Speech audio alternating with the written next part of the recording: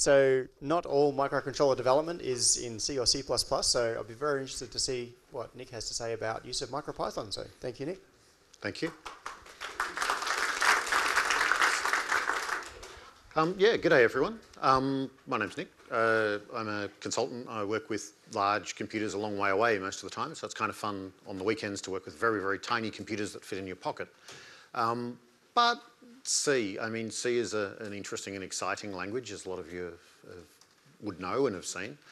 Um, but it's not a relaxing language in a lot of ways. And if you write C, you often find yourself coming back to C code you wrote and going, who wrote this? This is insane. I don't even know what this does anymore.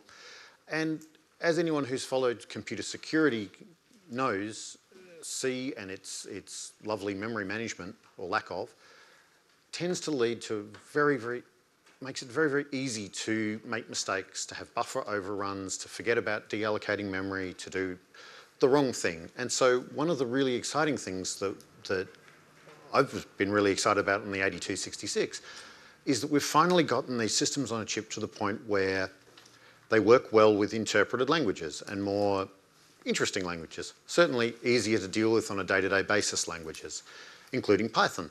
Um, I presented about uh, uh, MicroPython on ESP8266 at PyCon. And there was a lot of interest there in it. And um, the ESP32 came out and I managed to actually get hold of some of them and was talking to Damien George, who is the original kind of creator of MicroPython on the PyBoard platform and so on. And we managed to scratch together a, a, a bit of a plan to get it running on ESP32 platform, which has been successful. It's very, very early days, but it's kind of exciting. So I wanted to come along today and share that with you guys. Um, so ESP32 modules, we've, we did a bit of an introduction this morning with Gus, um, but I'll just very, very quickly zip through that again in case anyone wasn't here this morning. Um, very nice little system on a chip. Uh, originally that, that 8266 chip came to prominence as a a coprocessor, a network interface for something like a, an AVR Arduino type based thing um, until someone finally read the spec sheet and realized it was several times as powerful as the thing it was helping.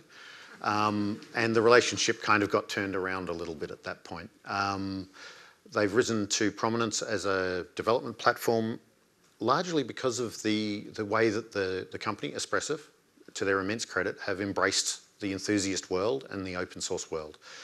Uh, it's, it's been a really great platform to work on. And they've taken a lot of the feedback they've got from that world and gone another step further. So where the 8266 was a bit of a leap ahead from the existing uh, systems on a chip in the market, the 32 has just done another jump forward. We've now got multiple CPU cores, we've got far better I.O., we've got higher clock rates. We've got this really cool ultra low power processor off to the side. It's some brilliant stuff has gone into this platform. Um, so yeah, there's now a networking stack that does uh, all of the 802.11 stuff, or all 2.4 gigahertz stuff. Uh, Bluetooth, um, lots of support for wired networking as well, which is great. Uh, and the I.O. is incredibly flexible and there is so much stuff there that I haven't even gotten to scrape the, the really look at it all. And it's um, amazing just how many things I've managed to pack onto that one little silicon die. Uh, the IDF is the, the software development kit for this platform. It's a really nice load of, of C code and fairly readable, much to my surprise. Um, building through a GCC toolchain using Xtensa architecture and all that sort of stuff it's actually quite easy to work with. And you guys have, have been playing with it as an Arduino thing or as a, um, as a C thing and so on.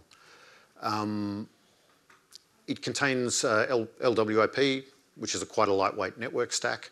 Um, and that's made it quite easy for us now to bring that network stack through to Python. Um, MicroPython. So MicroPython was basically a, a re-implementation of Python, about 3.4, designed to run on very sort of resource constrained, constrained systems. So it uses things like uh, value boxing to squeeze more out of every byte of memory it uses and to get better sort of cache behavior. Um, it is written as close to the metal in C as it can be written. Um, there's very little sort of fuzzy abstraction in there, and there's a great deal of horrible C macroism, but it's overall a pretty easy platform to develop for. Um, oh, sorry, that was that slide. Huh.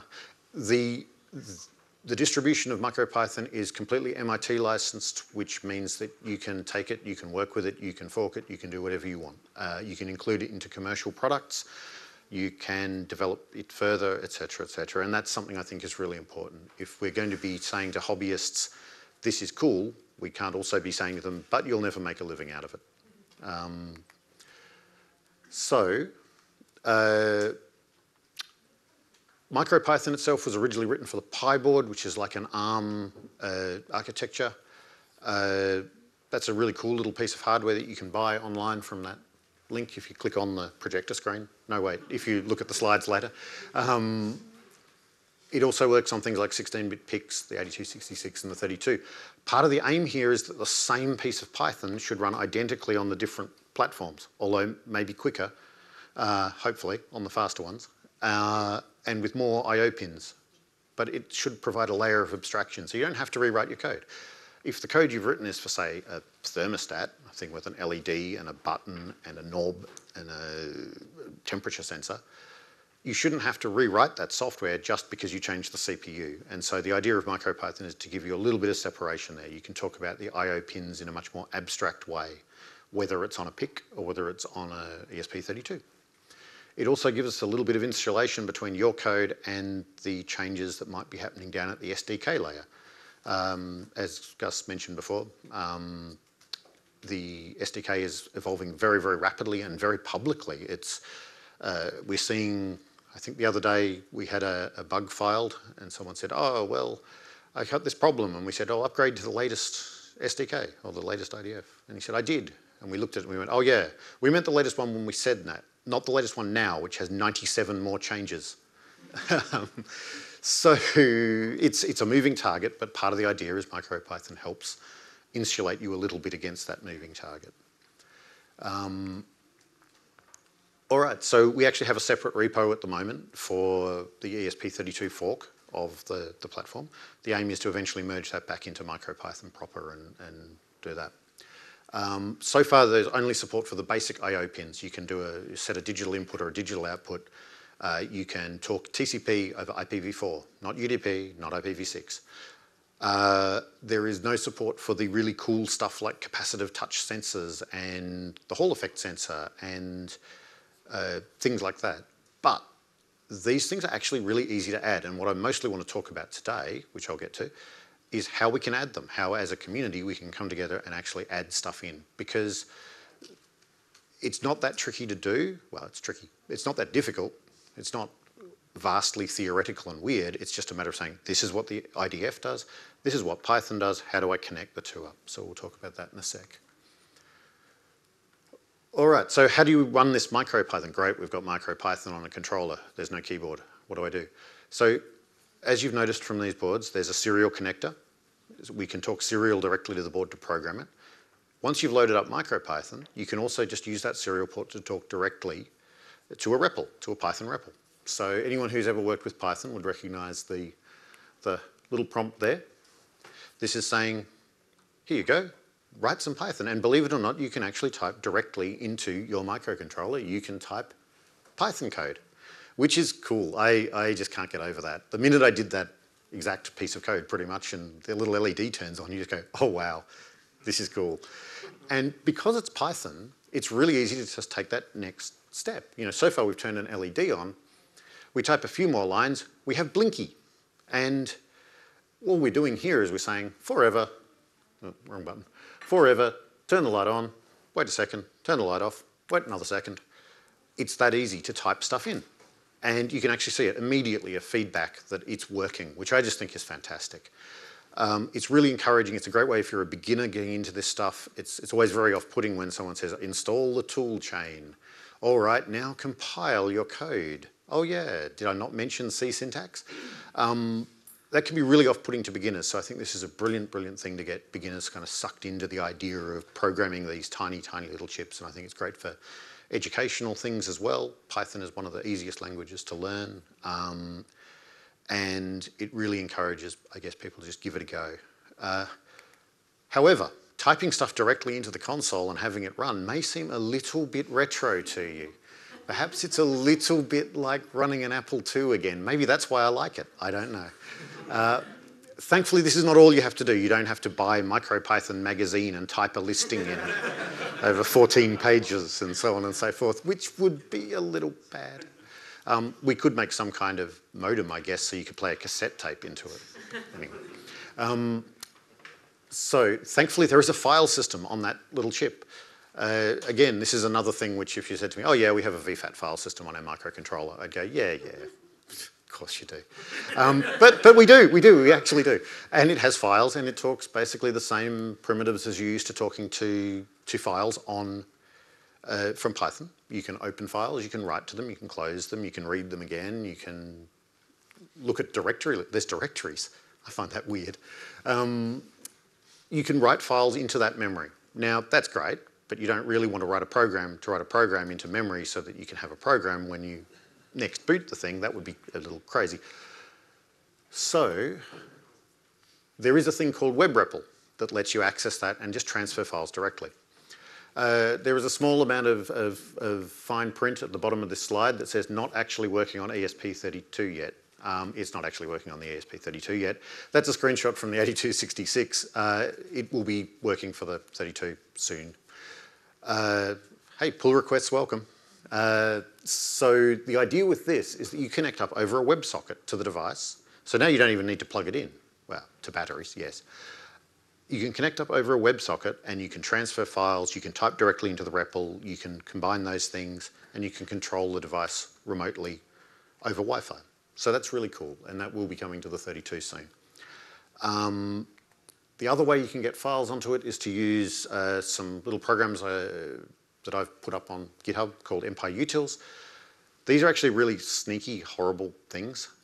Uh, they actually connect up to the REPL and they type the commands it would take to write the program into a file into the REPL and then the REPL runs that and writes the file, which is a little perverse and quite slow but actually surprisingly well works. And it worked so well when I wrote the uploader that I went, I should really just be stupid about this. And I wrote a fuse mount for it. So you can now mount the file system from your ESP8266 or 32 onto your host system and write files to it at 19200 baud. So be a little patient. But it is kind of nice because it means you can do things like run an SHA1 sum of a file on the device. Uh, you don't need a separate utility to do that. So it, it means that all of your make and editors and things like that can actually edit stuff directly on the device, slowly, but eventually. So that's okay. Um, and again, pull requests welcome. That's, that needs a lot of improvement and a lot of making it more robust and making it retry when it fails and know how to reset the board when it completely fails and things like that. But work in progress.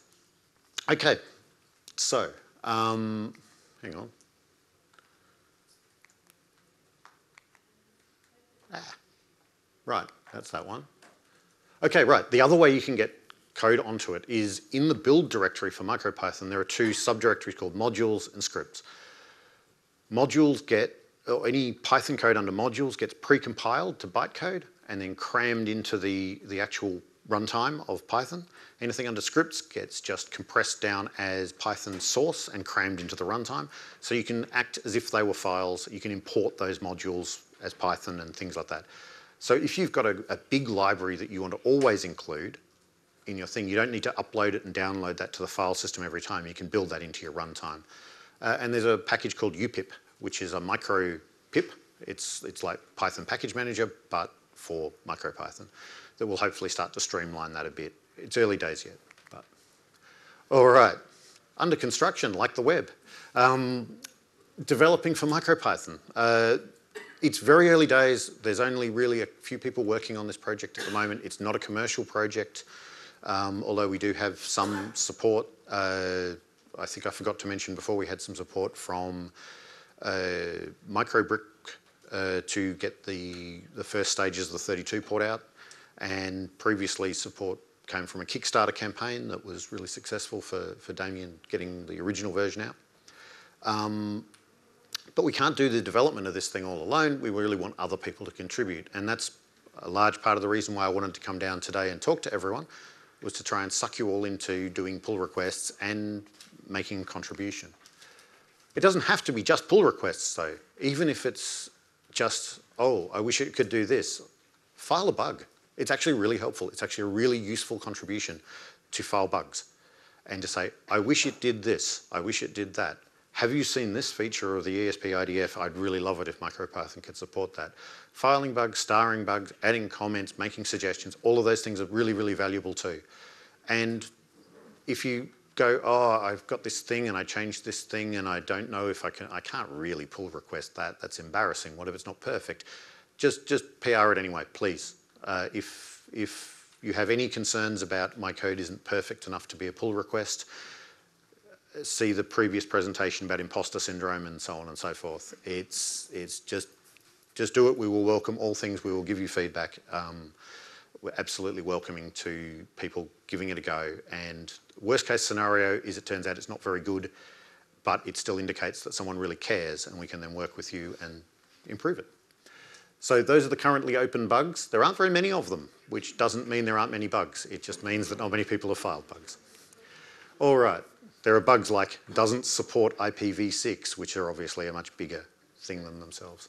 All right, so what's in the repo? Uh, who's checked out the repo for this thing in the time it took me to do this talk? You, excellent, excellent. The first thing I did when I went, I want to work on this ESP32 port is check out the repo, look at this file directory listing and go, oh, what the hell?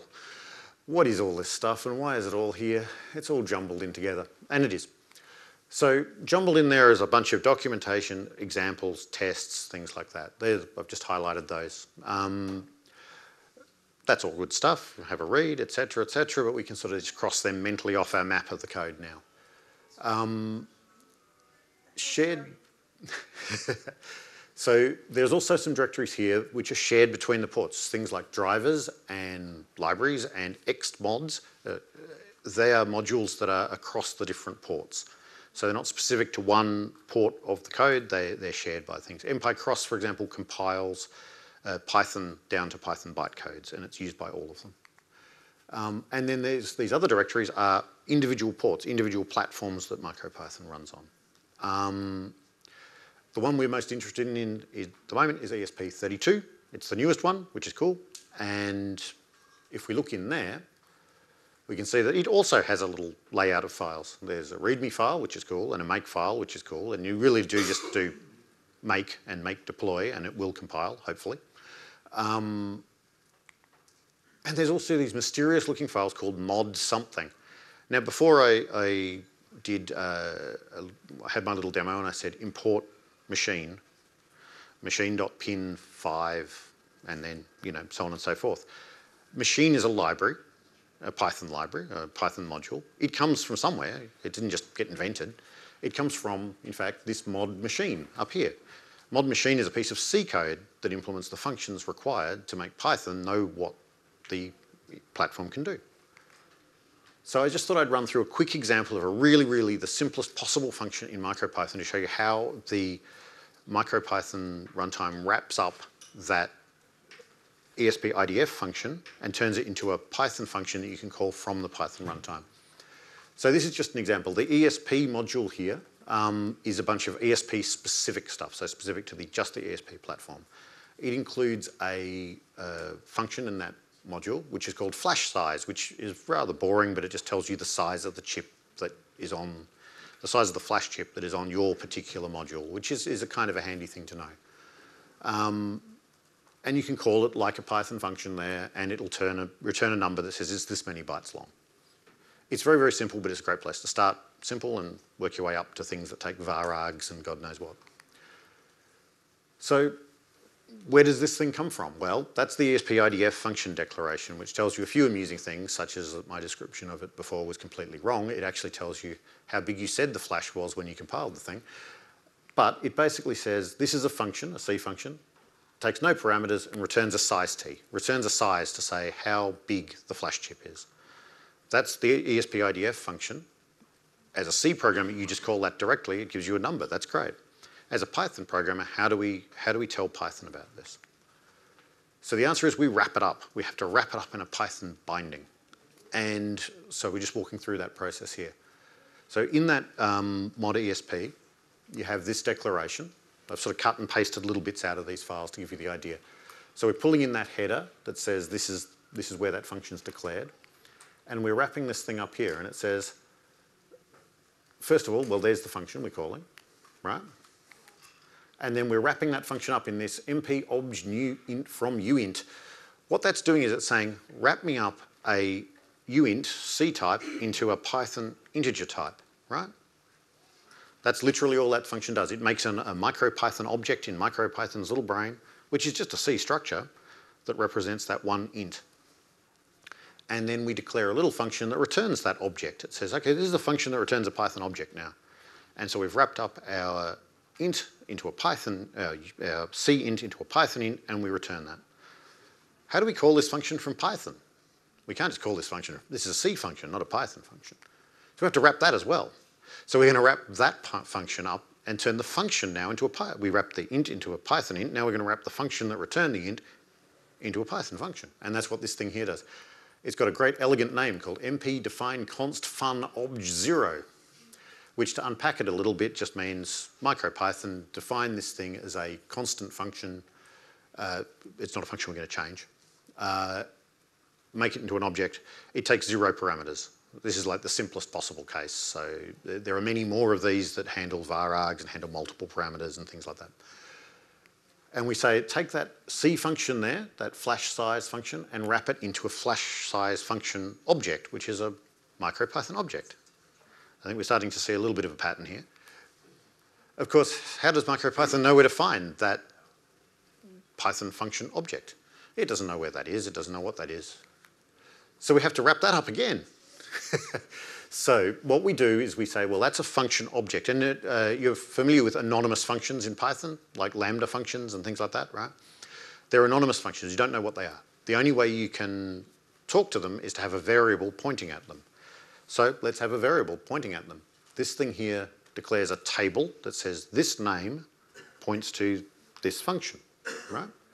So we say this is our flash size name. Now all this nonsense about MP ROM QSTR, MP QSTR flash size is literally just, it's interning a string. So it's saying we have a name flash underscore size. We want to be able to talk about that name really efficiently from C. And who here is, is used to C and strings? C is so good with strings. Um, so we intern the strings so that we don't have to deal with them. We don't have to strcmp them every time we want to compare to them. Instead, we intern them into an int that C is very good at dealing with. Um, and that's what that stuff's about. Honestly, just cargo cult this stuff. If you want to contribute to this code and you go, I don't understand this stuff at all, I just cut and paste this from other functions and we'll go, yeah, that worked. Okay, that's cool. That's how it works. Um, and so we say, all right, the name flash size now points to that function object we had before, right? So we now have a name pointing at a function object. It's in a little table. Of course, that table isn't a Python table, it's a C table. Are we getting a pattern now? So we wrap the table up into a Python dictionary, which is what this thing here does, mp define const dict. Here is a dictionary, I promise I won't change it. Here's what goes in it, wrap it up for me. And now finally, finally, finally, we declare a module and we say this module has a base and it has that dictionary is its globals, right? It's, these are the symbols it exports. And that is pretty much all the code you need to implement a simple, simple zero argument function in MicroPython. Except for you've just got to tell the make file, uh, the, sorry, the config file here to include that module in your build, and you've got to tell the make file where to go find it. That's it. That's, that's literally all the code that's involved. So if you wanted to sit down and write a function for the Hall effect sensor, it would look pretty much like that. It would say, take the, the you know, somewhere in mod ESP, write a function that says take a reading from the Hall sensor, wrap that reading up into a Python object, now wrap the function that generated that up into a Python function, now put that into the symbol table, now return that. So even though a lot of this stuff probably seems like nonsense, if you look at the code, you can actually see that it follows a pattern and it's actually quite an easy pattern to sort of just iterate on and add things and add things and add things. And then eventually we might actually be able to support the whole IDF in MicroPython. So back to the Python side of it, now when you see this, where it says import ESP, you know what that's really doing? What that's really doing is pulling in that global symbol table we declared before. When we do a dir of ESP, we're iterating over that symbol table and saying, show me all the symbols I put in that list of symbols. When we call a function, we're saying, get me the value of that function. Now call that function. When I call that function, it calls the C function, right? When I call the Python function, it calls the C function inside. The C function returns a C int. The C int gets wrapped into a Python int. The Python int comes back to you. We get to print its value on the screen. That's pretty cool. All right. So there are lots of resources out there. There's the, the main repo, which you can go to to look at to, to see where the things are at. Being GitHub, we, we've got active GitHub issues. We've got all of that sort of stuff happening. Um, as I say, please, please, please contribute to issues, to bugs, to whatever, um, including if it's just, I really, really wish MicroPython supported the hall sensor, even if you go, I wish it did, but Nick's presentation has left me no more confident that I could make that happen, then file an issue because it may have left someone else here more confident that they can make that happen and they may fix it for you, which would be great. Um, and that's just resources for the ESP32. All right, um, thank you very much. If questions and comments? I'm ready to run. Who's got a question? Cool. Not very far away.